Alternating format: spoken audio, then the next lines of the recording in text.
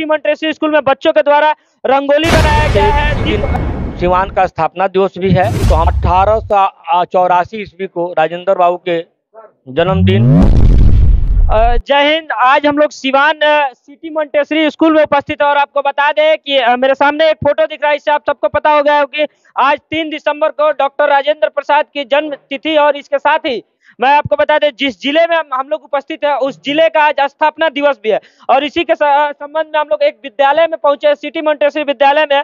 अब city Montessori विद्यालय का सिवान के स्थापना से डॉक्टर राजेंद्र प्रसाद के जन्म तिथि से क्या मतलब बनता है कि इस दिन सिटी मॉन्टेसरी स्कूल में बच्चों के द्वारा रंगोली बनाया गया है, दीप दीप जला के एक कार्यक्रम का शुभारंभ किया गया। इन सब सारे चीज़ों पर बात करने के लिए हमारे साथ तमाम शिक्षकगण सिटी मॉन्टेसरी स्कूल के उपस्थित है। इन सारे शिक्षकों से हम जानने का प्रयास करेंगे कि आखिर डॉक्टर राजेंद्र प्रसाद की जन्म तिथि को क्यों मनाया जा रहा है? विद्यालय में सिवान के स्थापना दिवस को क्यों मनाया जा रहा है? इससे बच्चों को क्या लाभ होगा? इन सारे सवालों का जवाब यहाँ के तमाम शिक्षकों से जानने का प्रयास करेंगे।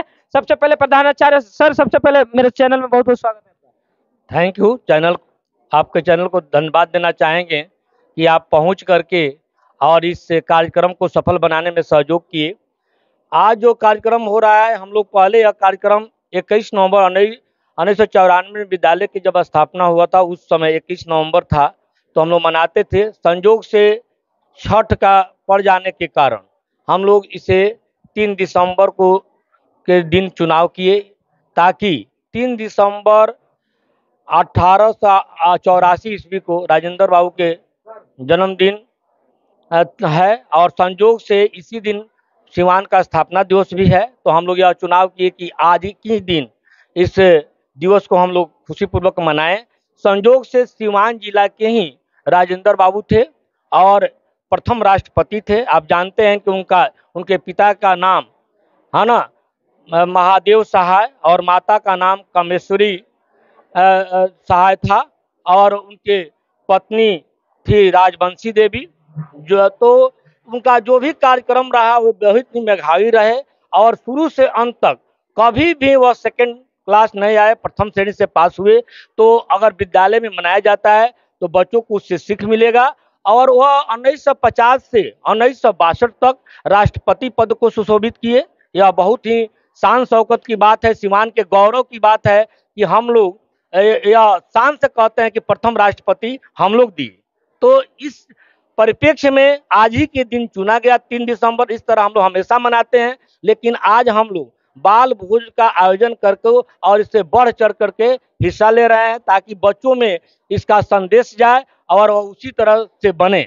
जो जैसे राजेंद्र बाबू से कुछ सीख लें, इसी परिप्रेक्ष्य में आज हम लोग भोज का आयोजन किए देख सकते हैं, प्रधानाचार्य महोदय ने बताया कि डॉक्टर राजेंद्र प्रसाद की आज जन्म तिथि है और वो इसी जिला के रहने वाले और हम लोग कहीं ना, पूरे देश में कहीं भी जाते हैं तो गर्व से कहते हैं कि जो देश के सबसे प्रथम राष्ट्रपति थे वो हमारे ज़िले के रहने वाले थे, हमारे यहाँ के रहने वाले थे और उन्हीं के जन्मतिथि के अवसर पे ये जन्म आज सभा, प्रोग्राम का भी आयोजन किया गया। ताकि सुनिए, किताबों में तो पढ़ाया जाता है कि डॉक्टर राजेंद्र प्रसाद सिवान के रहने वाले थे, तीन दिसंबर का उनका जन्म तिथि है। लेकिन कहीं ना कहीं जब इस तरीके से कार्यक्रम किया जाएगा तो बच्चे डॉक्टर राजेंद्र प्रसाद के जीवनी को ज़्यादा से ज़्यादा जानेंगे और उनके जीवनी को अपने जीवन के अंदर जितना ज़्यादा हो सके समर्पित करेंगे, तब जाके एक काबिल बच्चे बनेंगे। और कहीं ना कहीं शिक्षक संस्थानों का जिम्मेवारी सिर्फ़ और सिर्फ़ ये नहीं होता है कि सिर्फ़ मोटी रकम फ़ीस ले और किताबी दुनिया पढ़ाए बल्कि इसके अलावा इतिहास को भी और हमारे साहित्य को भी पढ़ाना बहुत बड़ी जिम्मेवारी होती है। और इसी का जीता जागता उदाहरण सिटी मॉन्टेसरी पब्लिक स्कूल है। और साथ ही साथ स्कूल में आज बाल भोज का भी आयोजन किया गया है। और एक और शिक्षक महोदय इनसे भी हम जानने का प्रयास करेंगे। सर विद्यालय में विद्यालय में ये अ, जन्म तिथि मनाना किताबों में तो पढ़ा ही दिया जाता है फिर भी जन्म तिथि मनाना ये क्यों आवश्यक हो जाता है? इसकी क्या ज़रूरत पड़ती है? जी पहले मैं आपके चैनल को धन्यवाद दूँ और मैं स्पष्ट कर दूँ अभिषेक कुमार सिंह जिला मुख्य आयुक्त भारत स्काउट गाइड सिवान। राजेंद्र बाबू की जयंती है आज और हम सभी गौरवशाली है कि हमने भी उस भूमि पर जन्म लिया है जहाँ देश के प्रथम राष्ट्रपति जिनके कॉपी पे एग्जामिनर ने लिखा examiner is better than examiner और अशोक जी लगातार शहर के बीच में हमको लगता है कि इस तरह का विद्यालय जो विद्यालय शहर से सुदूर दूर जाके है और शहर के हृदय स्थल में स्थिति मंटेश्वरी विद्यालय का को संचालित कर रहे हैं।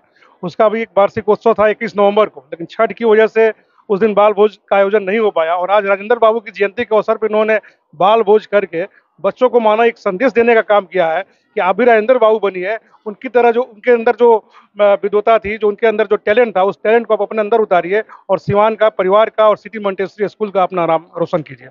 अच्छा सर, एक चीज़ बताइए, किताबी दुनिया के बावजूद भी मतलब क्या अंतर होगा? किताबों में तो पढ़ाई दिया जाता है कि तीन दिसंबर को डॉक्टर राजेंद्र प्रसाद की जन्मतिथि है, वो सिवान के रहने वाले थे, हमारे देश के प्रथम राष्ट्रपति थे, ये चार, सारी चीज़ें किताबों में पढ़ा दी। लेकिन अगर यहाँ से मंच में मंच पे उनका माल्यार्पण करके बच्चों को डायरेक्ट उनकी कहानियाँ बता के मतलब कितना अंतर होगा किताबी दुनिया और इससे? किताब किताबी दुनिया निश्चित तौर पे जब बच्चे पढ़ेंगे तभी उनके बारे में जानेंगे। हम किसी भी महापुरुष की जयंती और पुण्यतिथि इसलिए मनाते हैं ताकि उनके बारे में हमारे बच्चे जाने और उनके जो अनुकरणीय चीज़ है उनको अपने जीवन में उतारें। और निश्चित तौर पर प्रैक्टिकली भी हमको लगता है विद्यालय की तरफ़ से इनके जन्मस्थली पर भी टूर वगैरह लोग लेके जाते हैं तो बच्चे वहाँ जाते हैं तो उन चीज़ों को देखते हैं और उसको अपने जीवन में उतारते हैं और जीवन को सफल बनाते हैं।